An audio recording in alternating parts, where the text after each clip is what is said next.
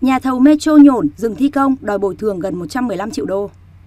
Do vướng mắc trong thủ tục giải phóng mặt bằng, nhà thầu thi công tuyến ngầm của Metro nhổn ga Hà Nội đã dừng thi công và đòi bồi thường.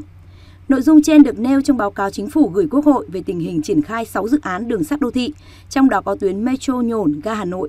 Cụ thể tại gói thầu CB03 hầm và các ga ngầm, liên danh nhà thầu Hyundai, Gena đã gửi 3 khiếu nại yêu cầu bồi thường với tổng chi phí 114,7 triệu đô la và khẳng định nếu không chấp thuận thanh toán thì họ sẽ không thể tiếp tục công việc, sẽ khiếu nại lên trọng tài quốc tế.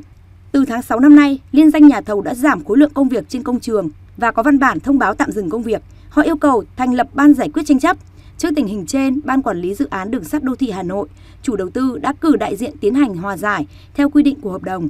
Ủy ban nhân dân thành phố Hà Nội đang xem xét xử lý các khiếu nại và tháo gỡ vướng mắc tại gói thầu CB03. Qua tìm hiểu, việc chậm giải phóng và bàn giao mặt bằng cho nhà thầu là nguyên nhân chính dẫn đến việc nhà thầu đòi bồi thường. Đến nay, vướng mắc về mặt bằng còn tồn tại ở nhà số 23 Quốc Tử Giám, ảnh hưởng đến việc thi công ga ngầm S11.